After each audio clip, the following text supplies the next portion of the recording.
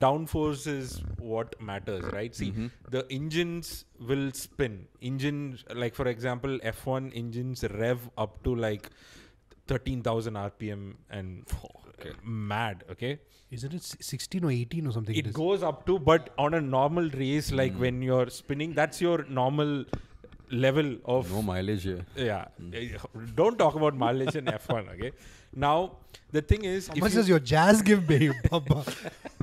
Doesn't like the greatest driver of all time use a Honda engine? So, how do you tackle it? You press the car down so that there is good grip. Now, that is the whole concept of a downforce. Now, downforce um, has like the way downforce works, as in like in the physics term, without getting it complicated, is if you have designed a car through which air naturally, when you're going fast, pushes the car down, that's good. And secondly, if the weight of the car is really low, it's good because the weight is pulling the car down and it's mm-hmm. becoming sticky.